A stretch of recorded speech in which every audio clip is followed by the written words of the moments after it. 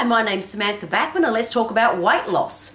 Well, let's start off with a, a few untruths about uh, what's going on. Firstly, we've been taught that if we lower our calorie intake and our carb intake and all that sort of thing, we're going to be able to lose weight. How many people have been on that yo-yo diet? They've been through different, uh, different, you know, powders, shakes, meal replacement, cutting down, eating little weeny, teeny little bits on the plate and all that sort of thing. And they may lose weight, but it comes back on. In other words, they haven't really solved the problem.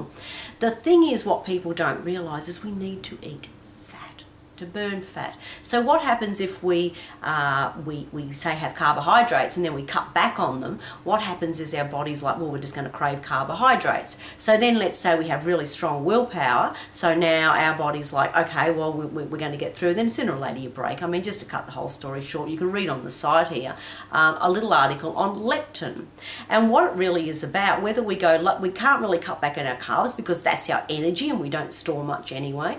We need to eat of course, we need to eat carbohydrates, but it's the unprocessed type, not the cakes and the biscuits. We all know that anyway.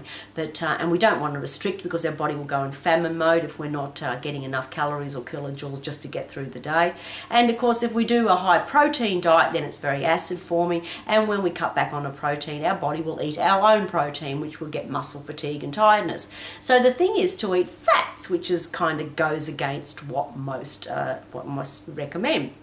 I believe in having a whole lot of fish oils, a whole lot of avocados, a whole lot of raw nuts and seeds and make them the base of the snack foods over the day. So what happens, you basically replace uh, foods that we would eat, the junk foods, with those type of snacks. There's a little bit more to it. So if you want to contact me and we can make up a diet plan that suits you, depending on, you know, the way your lifestyle, one man's food's another man's poison, as they say. And I often find that what works for the wife doesn't work for the husband. So it just depends. But but the thing is to get good fats in the body. And of course, our nervous system relies on fats and water to run properly. So let's hydrate and, of course, let's get some good fats, good oils in the diet and cut out the processed uh, foods. And, of course, you'll get guaranteed weight loss.